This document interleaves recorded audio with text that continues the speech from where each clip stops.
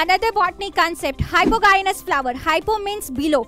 Some floral parts grow below the gynous that is gynoecium. that condition is known as hypogynous condition and ovary superior ovary how to remember short trick for this china must bring pinto to supermart china is china rose must is mustard bring is brinjal pinto is petunia and supermart is superior ovary other examples belongs to liliaceae solanaceae fabaceae and brassicaceae families